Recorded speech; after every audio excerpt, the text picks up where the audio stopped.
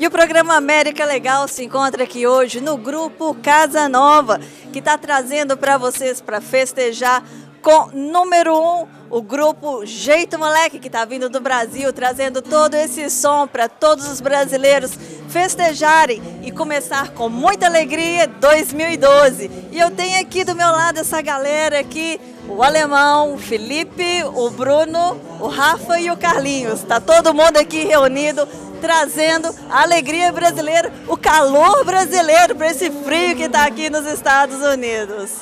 Alemão, boa noite, tudo bem? Legal, um prazer. Tudo bem, é a nossa terceira vez aqui na América, a gente está muito feliz. Agora é uma data especial, né? O ano novo. E é isso, né? Trazer um pouco de calor mesmo. A gente está acostumado, não está muito acostumado com o frio daqui. Mas a gente vai esquentar o pessoal, pode ter certeza. A expectativa é super. Legal, fiquei sabendo que os ingressos já estão quase esgotados ou já esgotados. Tudo lotado. Que bom, a gente fica muito feliz, né?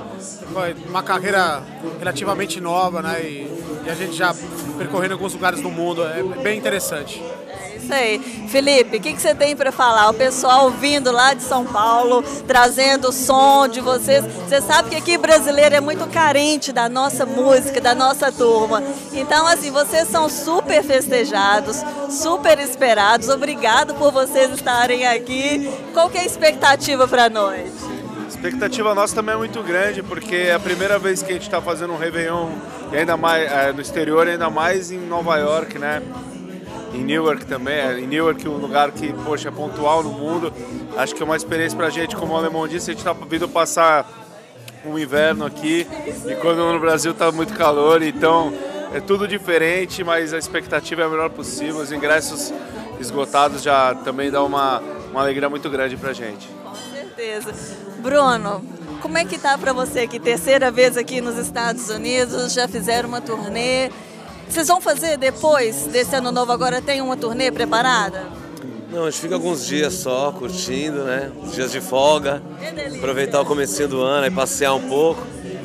A gente, começa, a gente volta a fazer show no Brasil dia 6 de janeiro.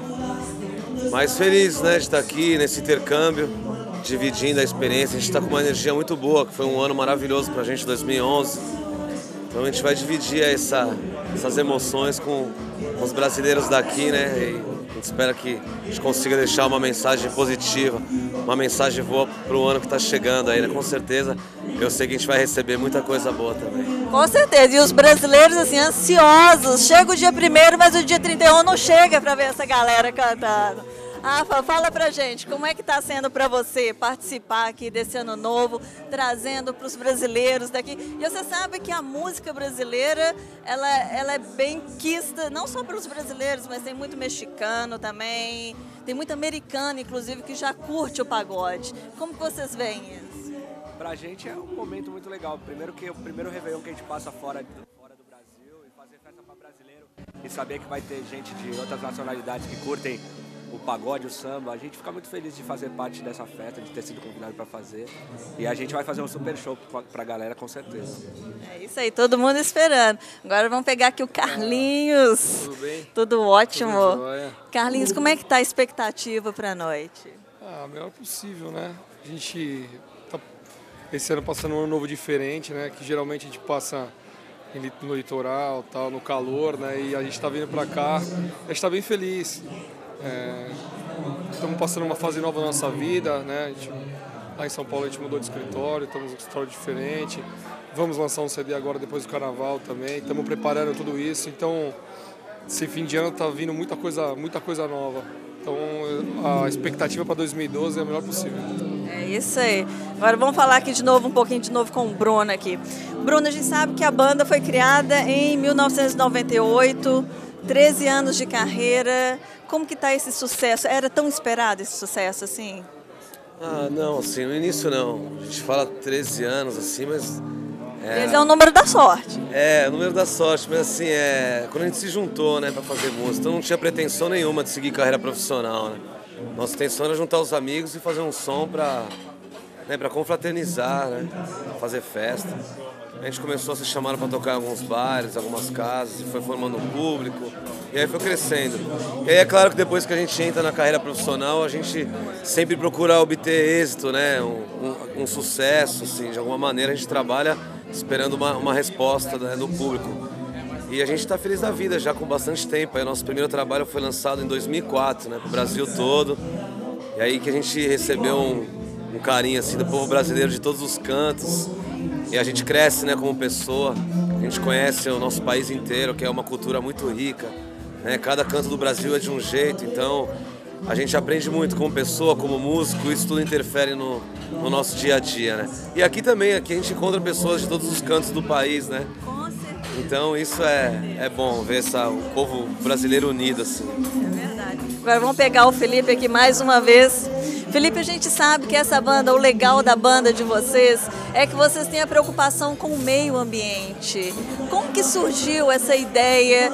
Porque você sabe que um artista tem a influência muito grande nas pessoas. Parabéns por esse trabalho que vocês fazem. Muito bacana essa visão, né, de ser importante, ter que alertar as pessoas para o meio ambiente. Como que surgiu essa ideia? Surgiu em 2006, né, a OAK, uma empresa de Educação e Meio Ambiente trouxe a proposta para a gente. E o nosso principal foco é levar isso até o nosso público mesmo, né?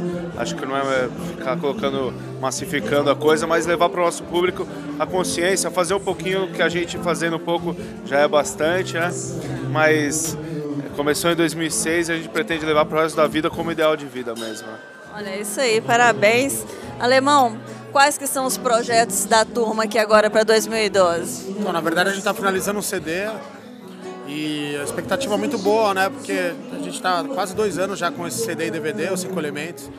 E a gente vem com elementos novos, né? Como sempre, a gente tenta colocar alguma coisa na nossa música para impressionar. O público sempre espera um som diferenciado do jeito moleque.